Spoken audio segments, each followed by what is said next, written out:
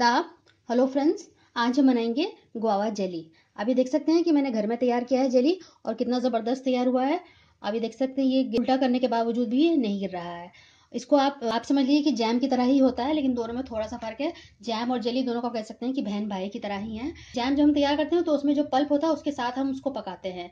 किसी भी फ्रूट का अगर हम जैम बनाते हैं तो उसमें पल्प भी रहता है, लेकिन जेली में यह है, इसका हम अर्क निकालते हैं और फिर उससे जेली तैयार होती है। तो बहुत ही लजीज होता है, इसको साल भर के लिए आप बनाकर रख सकते हैं। सर्दियों में जब गुआवा आता है, बहुत ही अच्छा होता है, बहुत जायकेदार होता है। गर्मियों में जाता है, उसका टेस्ट थोड़ा डिफरेंट होता है, लेकिन जो सर्दियों में जो अमरूद आता है, बहुत ही अच्छा होता है। तो उससे जेली बहुत ही अच्छे से तैयार होगी, आप उसको साल भर के लिए आठ महीने के लिए आराम से तैयार कर सकते हैं। ये बहुत आराम से चलती है। गाँव में तो हमने देखा, जब जेली बनती थी, एक जश्न का माहौल सा रहता था। सब लोग मिलकर वहीं आँगन में बैठे हैं चूल्हे पर तैयार हो रहा है। आदमी लोग उसमें काम कर रहे हैं बना रहे हैं और लेडीज़ जो है घर की सुपरवाइज कर रही है उनको बता रही हैं, ऐसे करना है, वैसे करना है। तो उस तरह से जली तैयार होती है और फिर अभी जेली बन जाता था, उसके बाद सबको ये गाँव में बढ़ता था, रिश्तेदारों में बढ़ता था। तो वहाँ पे पचास किलो अमरूद का एक साथ बन जाया करता था, लेकिन शहरों में तो ये पॉसिबल नहीं है कि हम पचास किलो अमरूद का घर में बनाएँ। यहाँ पे तो चूल्हे होते हैं तो गैस पे ही बनाना पड़ता है। तो इसके लिए मैं आपको एक किलो अमरूद का बना के दिखाती हूँ। वैसे आप चार, पाँच, दस किलो का भी आराम से घर में तैयार कर सकते हैं। तो जेली बिल्कुल ऐसा होना चाहिए कि बिल्कुल आर पार उसमें से दिखने लगे। इस तरह से कि देखिए मेरी उंगलियाँ दूसरी तरफ़ से नज़र आ रही हैं। ये देखिए। तो इस तरह का बिल्कुल तैयार होना चाहिए जेली। मैं आपको एक बार दिखा देती हूँ कि ये जेली किस तरह से देखिए तैयार हो गया है। आप देखिए कितना ज़बरदस्त तैयार हुआ है जेली है तो चलिए मैं आपको दिखा देती हूँ उसको मैंने कैसे तैयार किया है।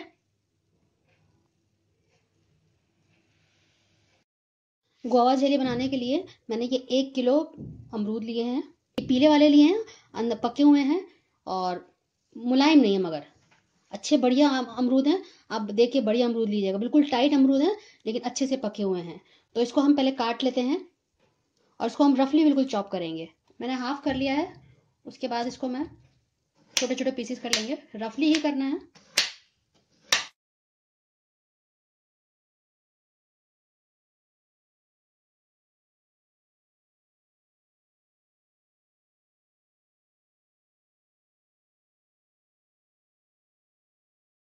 तो इस तरह से मैं सारे काट लूँगी और उसको मैं एक एक वेसल ले लिया है मैंने, एक पतीला, इसके अंदर मैं डालती जाऊँगी।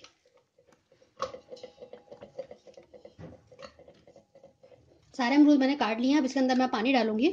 इतना पानी डालना है कि डूब जाए।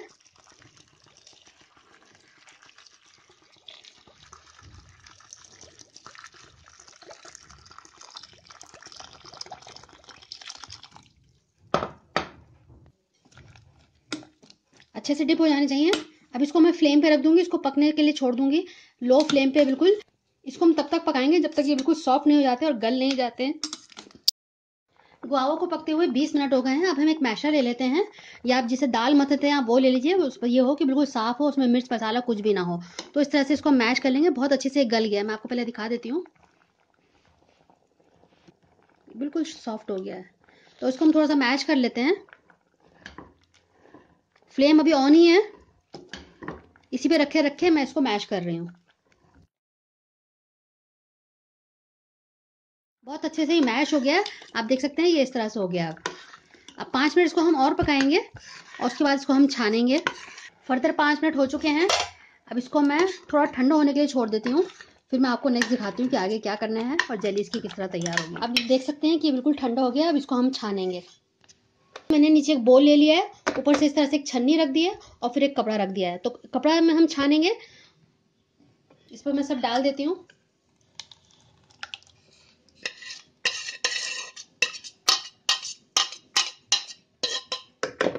इसका, हम चारों तरफ़ से इसका कपड़ा पकड़ लेंगे और इसको छान लेंगे, पानी को इसका।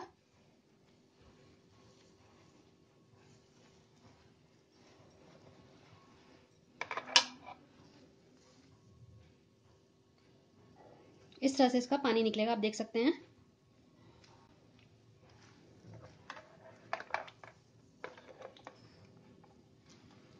आप ऐसा भी कर सकते हैं कि इसको कहीं टांग दें और एक घंटे में सारा इसका निकल जाएगा।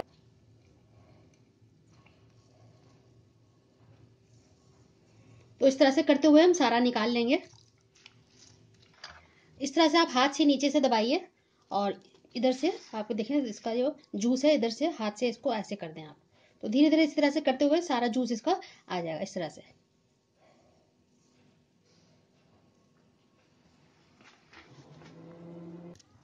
आप ये देख सकते हैं कि बहुत हद तक ये निकल गया है। मैं नीचे आपको दिखा देती हूँ। ये देखिए कितना आ गया है।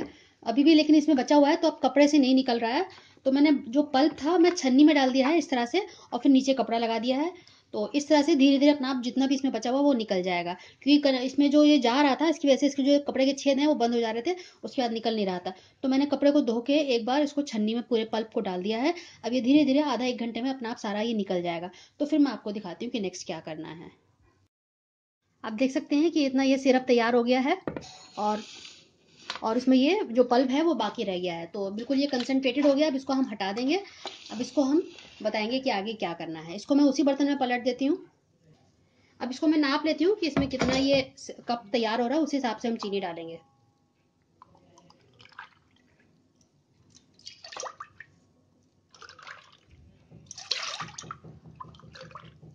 तो लगभग तीन कप ये चीनी डलेगी इसमें। मैंने इसको गैस पे रख दिया है, उसको थोड़ा पकने देते हैं, तब बाद में चीनी डालेंगे। एक इसमें बॉईल आ गया, मैंने फ्लेम को लो कर दिया है। जब तक बॉईल नहीं आया था, तब तक मैंने फ्लेम को हाई रखा हुआ था। अब लो टू मीडियम फ्लेम पे है। बहुत अच्छी इसकी खुशबू आ रही है। फ्रूट का जो हमने सिरप निकाला है, बहुत ही अच्छी खुशबू आ रही है। तो अब इसके अंदर हम चीनी डालेंगे अब। ये एक कप चीनी में डाल रही हूँ अभी। ये दूसरा कप चीनी डाल रही हूँ मैं। और ये तीसरा कप चीनी है। इसको अच्छे से मिक्स कर लेंगे। और इसको अब हम पकाएँगे लो टू मीडियम फ्लेम पे, जब तक ये गाढ़ा नहीं हो जाता। तो बीच बीच में इसको मैं चलाती रहूँगी और आपको दिखाती रहूँगी। आप देख सकते हैं कि 15-20 मिनट से इसको मैंने रखा हुआ था, काफ़ी हद तक ये गाढ़ा हो गया है। लेकिन अब इसकी कंसिस्टेंसी और हमें थोड़ी सी थिक करनी है। तो इसलिए 10 से 12 मिनट इसको मैं और अभी रखूँगी गैस पे। अब आप देख सकते हैं कि इसमें धीरे धीरे तार बनने लगा है, ये गाढ़ा होने लगा है। ये देखिए, अब धीरे धीरे इसमें तार बनने लगा है, ये गाढ़ा हो रहा है।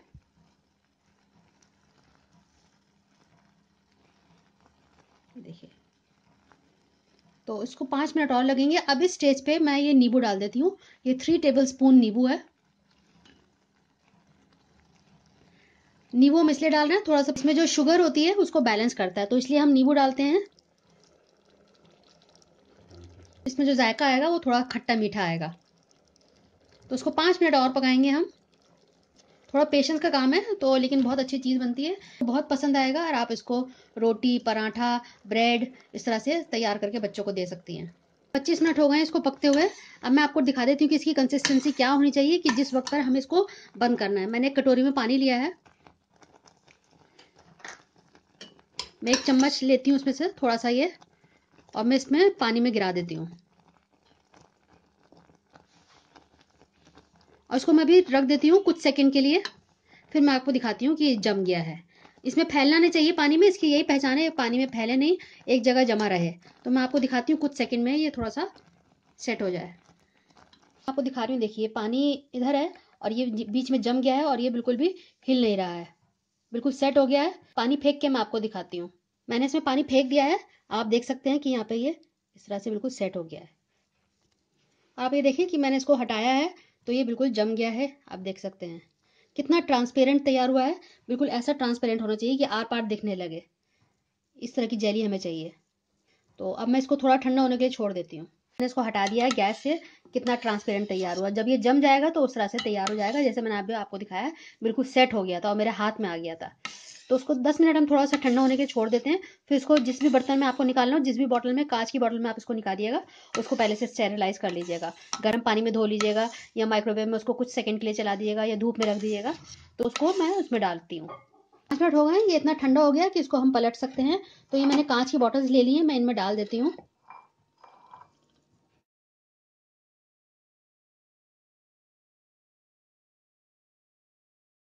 दो बॉटल्स में निकाल दिया है, एक बॉटल पूरी भर गई है और एक इतनी भरी है। आप देख सकते हैं कितना ट्रांसपेरेंट है तो इसी तरह से होनी चाहिए, बिल्कुल ट्रांसपेरेंट अब इसको हम थोड़ा सा ठंडा होने देते हैं। आपको उसको फॉरन बॉटल में पलटना होगा। अगर आप ज़्यादा देर, पंद्रह, बीस मिनट, आधा घंटा छोड़ देंगे तो उसी यूटेंसिल में चिपक जाएगा, जिसमें आपने बनाया है। तो बेहतर यही होगा, फ़ौरन ही जैसे ही थोड़ा सा लगे कि थोड़ा सा ठंडा हो गया है, आप उसको फ़ौरन पलट दिए और ये इसी में सेट हो जाएगा। तीन चार घंटा लगेगा ठंडा होने में, तब ये सेट हो जाएगा। फिर आप ये देख सकते हैं कि हमारा जेली तैयार हो गया है। और कितने अच्छे से जम गया है, मैं आपको दिखा देती हूँ खोल के। ये देखिए, मैंने उसको उल्टा भी कर दिया। कितना परफेक्टली जम गया है, बहुत ही लजीज बना है। अगर आपको मेरी रेसिपी पसंद आए तो नीचे लाइक बटन ज़रूर दबा दीजिएगा। और अगर आप मेरे चैनल पर नए आए हैं, मैं आपसे रिक्वेस्ट करूँगी कि आप मेरे चैनल को सब्सक्राइब करें, बिल्कुल फ्री है। अगली बार मिलते हैं किसी नई रेसिपी के साथ। तब तक के लिए शुक्रिया। देखते रहिए शहलाज दस्तरखान